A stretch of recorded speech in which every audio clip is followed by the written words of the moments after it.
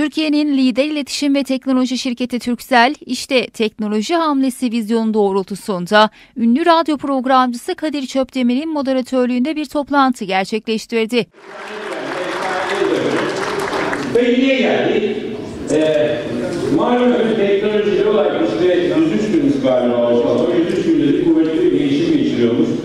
Ee, bütün dünyada yani böyle bir genelleme var. 103 günde değişen bir şey var hayatımızda. Ve bir yandan sen işte e, frekvenle yok göndereceğin havaleyle, malınla, stokunla, onunla bununla uğraşacaksın. Bir yandan da gelişen teknoloji ayak uyduracaksın.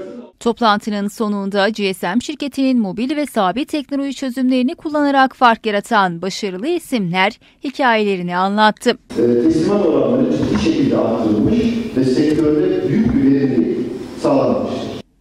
Ünlü radyo programcısı Kadir Çöpdemir de teknolojiyle ilgili olarak yaptığı sunumda seyircilere keyifli anlar yaşattı. Duygusu yok, duygusuz gibi geliyorlar ya. Halbuki biz ne tatlıyız. Duygumuz ne kadar dışarı yansıyor. Bu iyi bir şeydir.